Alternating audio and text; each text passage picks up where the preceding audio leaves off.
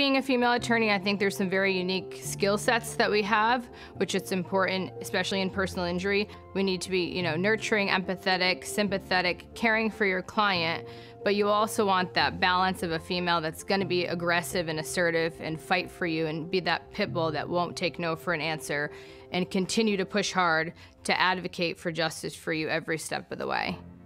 If you've been injured, call me, Car Crash Ash, or visit therawlinsfirm.com.